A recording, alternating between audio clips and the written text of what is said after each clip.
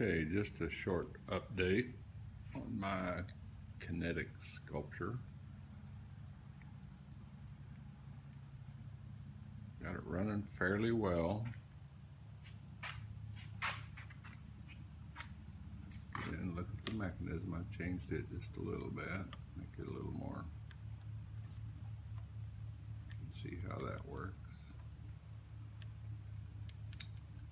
A little bit frustrating in that adding a three gram washer five centimeters off the axis will completely change how the whole system works. I've spent hours balancing it, trying to get a nice random looking motion out of it.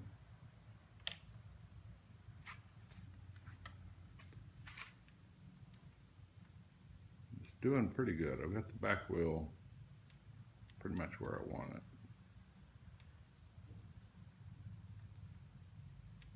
This front one just to keep it moving in a random motion. It's uh, it's a challenge. Got the the weight engine. Of course, the holder for it's going to be much nicer, but and the weight itself is going to be nicer. But other than that, it's pretty much where it needs to be.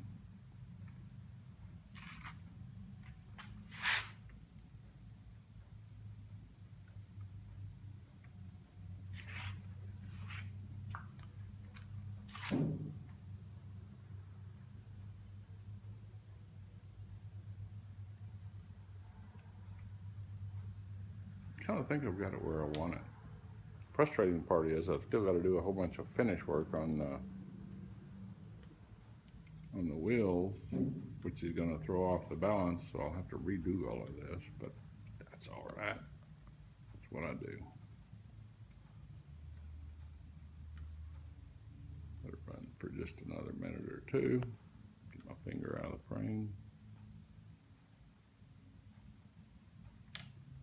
the blue tape on there, some magnets taped to it with some little bitty washers added to it just to balance it out. Well, a couple of big washers and then a whole bunch of little bitty ones just to balance it.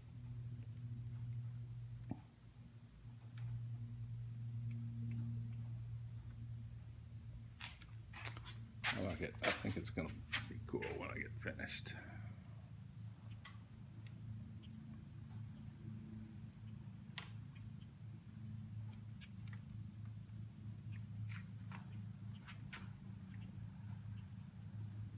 don't buy cheap bearings. I had to soak the bearings in mineral spirits and re-lubricate them just to get them to where they'd actually run free, but seem to be working now. There we go. That, that's looking pretty good. I kind of like that.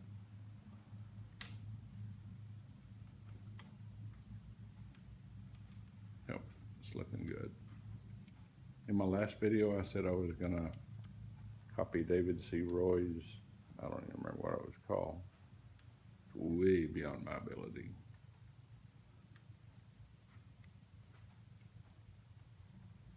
Just cutting stuff off of this and trying to make it work. Okay, I'm gonna stop it now.